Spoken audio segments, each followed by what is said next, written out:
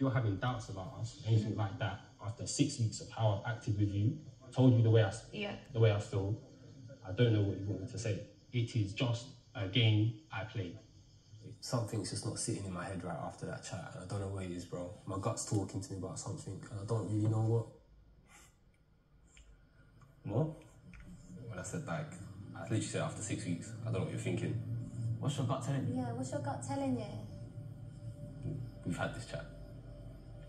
It's none of your bloody business. Do you have anything to say, Mom? I'll be honest, ever since your, that Zach's chat at the VIP thing, he spoke nothing but Molly. So, I think from all the boys' side, we know Yeah. how Zach feels about you. Like it is evident. We see it in the villa. There's never been a doubt in our minds. That it's only been you. Exactly. Because it ended on the my gut's telling me something, but we don't get to hear what your gut was telling you. Was it Katie? Well, it was after the VIP party. Guess you went home. So it couldn't have been, could it? And it doesn't matter. He's with her now. Shit.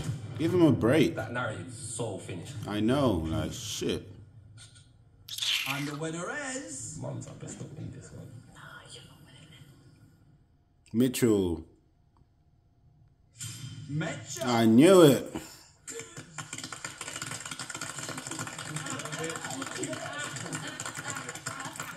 love it, mate. Look at us, guys. Happy for you. We'll have all the trophies. Being Messi Mitch isn't just a job. It's about being him. I'm him. You all doubted me. But now, I'm happy. Yeah, well done, mate. Well done.